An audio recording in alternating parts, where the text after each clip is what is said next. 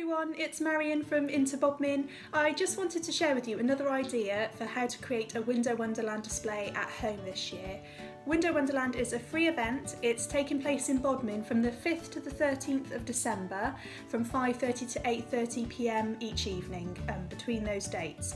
So if you would like to create a window to add to the display, then just go to windowwanderland.com and click on take part in the event.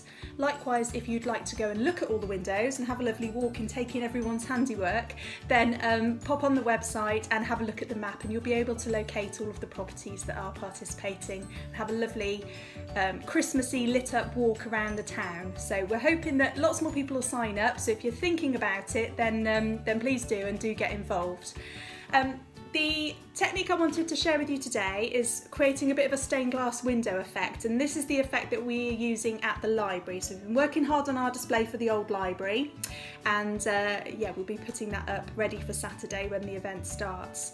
So you need to, again, measure the window that you're going to decorate and remember it needs to be one at the front of your property so that people can see it when they're passing by. And then once you've got those measurements, you're just gonna cut out some thick black paper, so sugar paper, or this is like a black craft paper, um, cut it out to fit over your window pane so that it's completely blacked out. Then you can draw your design onto that um, but you're going to cut out the areas of the design that you want to have lit up and that you want to have colour in.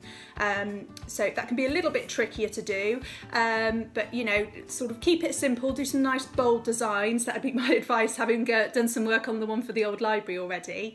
Um, and then what you're going to do, once you've cut out your design, um, you're just going to flip the whole thing over and then from the back stick on coloured tissue papers, okay?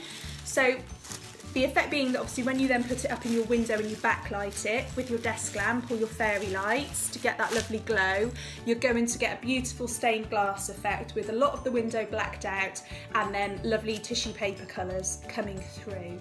So I've got a design planned for my window. Um, it's going to be honouring our NHS, which I think we want to celebrate as well as Christmas this year. So I will let you have a look at what I'm going to do.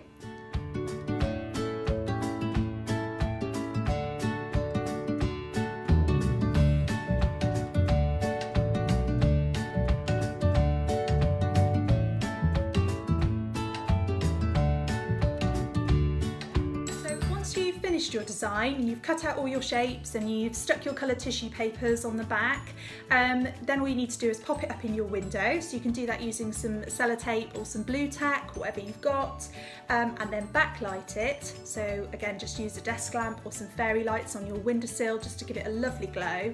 And um, yeah, and then just wait to see how it looks after dark.